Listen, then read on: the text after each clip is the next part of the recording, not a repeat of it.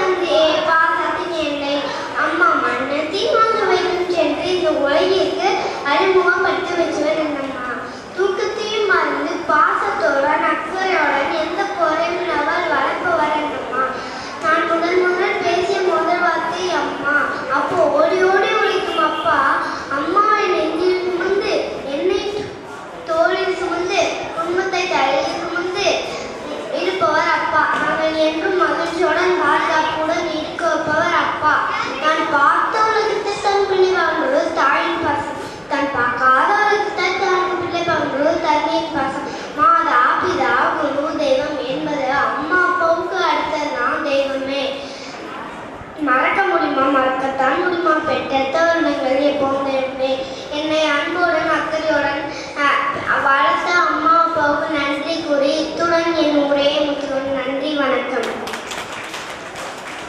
உலகத்திற்கு என்னை அறிமுகப்படுத்திய என் தாய் தந்தைக்கு மரியாதை மரியாதை செலுத்துகிறேன் என்று சொல்லி சென்ற மாணவன் கிருஷ்ண